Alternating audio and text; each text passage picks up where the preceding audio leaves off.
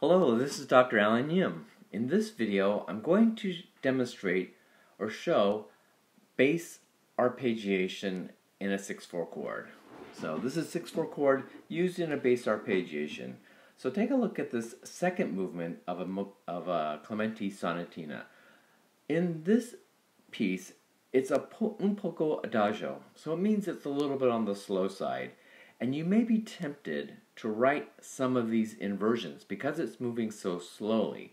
So take a look at this. It's in the key of G. The first measure, maybe something like this.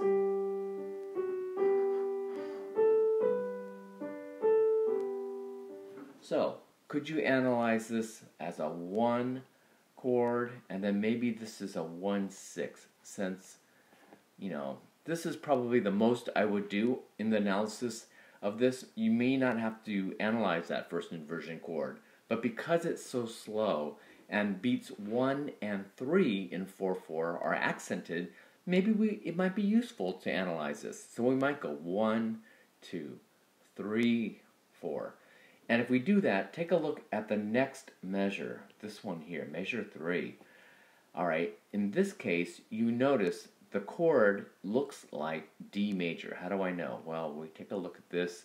Again, the fourth is at the top. So it might look something like this if we look at the whole measure. In this case, we would call this D over F sharp, and this would be a 5 6 chord. And then maybe over here, just like I did in the first measure, maybe I would call this a 6 4.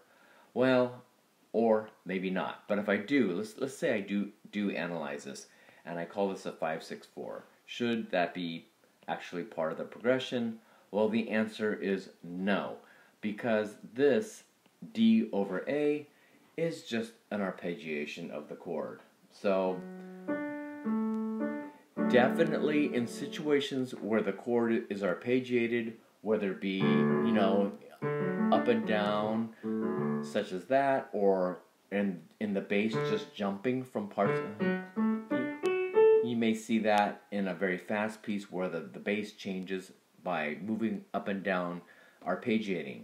When you when you think of the six four here, and in fact any of these inversions, you may just cross them out and not and ignore it and call the whole measure just one and then five like this. So again, when you see a bass arpeggiation, the inversions really um, are not important, and you can. I mean, I think you can safely leave it out unless it's really, really obviously accented or you sit on that arpeggio. You know, obviously, if it's like this, this is a first inversion. When you when you have the bass note like this on the downbeat, that's the that's the inversion. But otherwise, do not analyze every single bass note. Really, no matter how slowly this thing moves, I would just call each measure one or five in this case, five six, because this is the third of, of the, and it's the lowest. So just take a look at the lowest bass note. Okay, so that's it for bass arpeggiation. In the next video, I'm going to talk about bass melody. Thanks for watching.